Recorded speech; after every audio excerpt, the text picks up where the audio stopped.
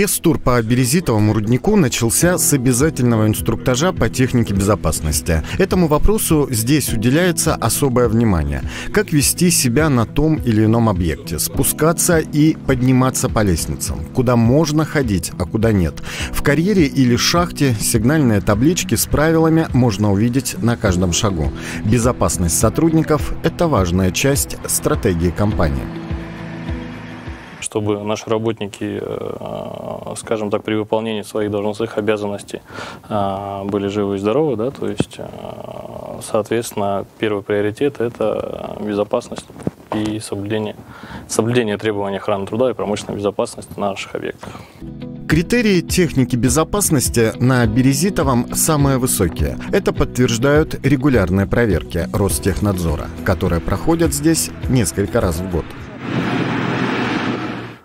В месте, где, кажется, до облаков можно достать рукой, в глухой Тындинской тайге Амурской области работает березитовый рудник. Сегодня золотоносная руда здесь добывается двумя способами – открытым и подземным. В обоих случаях процесс добычи золота крайне трудоемкий, ведь добывают породу из скалы, твердость которой не уступает граниту.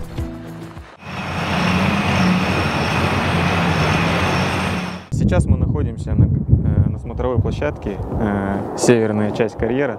Э, мы видим отсюда производство скрышных работ по горизонту 720 двумя комплексами.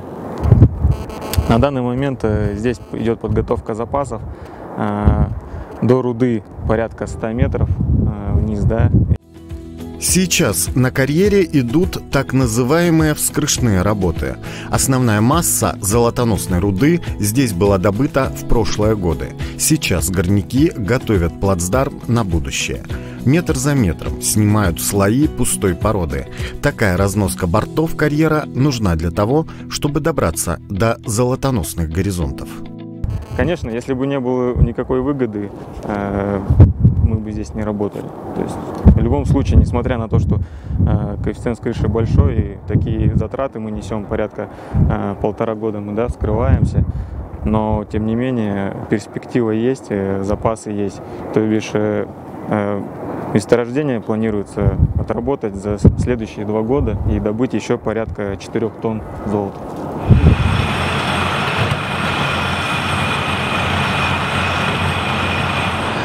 Это практически самое основание березитового карьера. Туда, где находятся грунтовые воды, по технике безопасности уже подходить нельзя. Глубина карьера составляет 450 метров. В это сложно даже поверить, на какие свершения готовы люди ради двух граммов золота. А именно столько драгоценного металла здесь добывают с одной тонны золотоносной руды. Однако, если посчитать ежедневный объем добываемой руды, количество техники и ее тонажность, то получается, что содержание даже такого количества благородного металла в породе для золотодобытчиков выгодно. Белазы у нас в основном э, это 55-ки, то бишь э, каты 55, 55 тонны, соответственно 50 грузоподъемность 55 тонн. 55 тонн э, руды с содержанием 2 грамма. 2 грамма на тонну. Карьер на Березитовом – это уникальная система, где все рассчитано до мелочей. Глубина, ширина, направление склонов. Конструкция словно живой организм, постоянно растет и углубляется вниз. В этом процессе важно следить за уже отработанными зонами, ведь не исключены сходы породы, особенно весной, когда почву размывают грунтовые воды. Здесь по карьеру имеются тектонические зоны, э, зоны смятия с повышенной трещиноватостью для того, чтобы его укрепить. То есть основная опасность это во время межсезонья, когда идет оттайка, э, от перепада температур порода начинает отслаиваться, ну и падать под собственным весом вниз. За движением породы в карьере следит специальное оборудование. Вот этот радар круглосуточно мониторит состояние потенциально опасных склонов.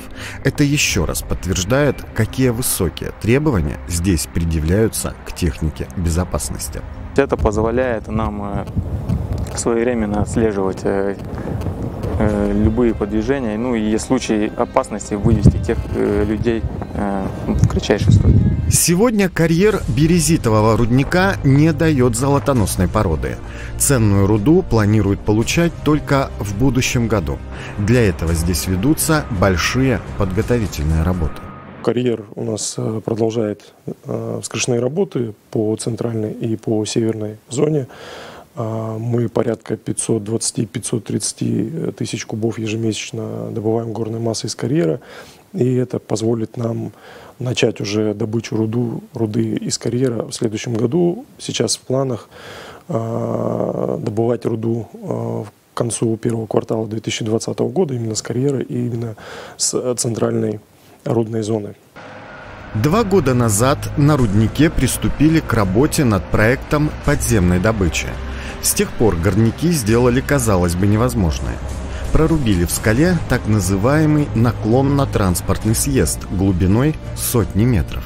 На сегодняшний день у нас построена главная вентиляционная установка, а, здание административно-бытовые здания, а, потом а, ремонтный цех построенный, очистные сооружения построили. Что касается именно подземки, прошли два наклонных транспортных съезда. Один транспортный номер, первый номер, номер первый транспортный съезд это у нас доставка горной массы, именно по нему осуществляется. По второму это у нас является запасным выходом. Также по нему подается свежая струя. Для подземных работ на руднике закупили специализированную технику.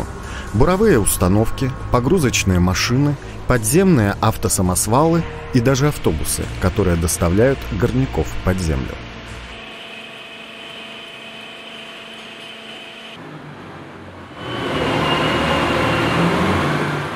Шахта представляет собой два наклонных спуска и внутреннюю спираль, которая уходит вниз. Здесь сейчас осуществляется опытно-промышленная добыча ценной породы. Объект относится ко второй категории опасности, поэтому спускаются сюда только подготовленные люди с соблюдением всех мер безопасности. Для того, чтобы попасть внутрь шахты, необходимо соблюсти несколько обязательных условий. Во-первых, это наличие вот такой спецодежды со специальными свет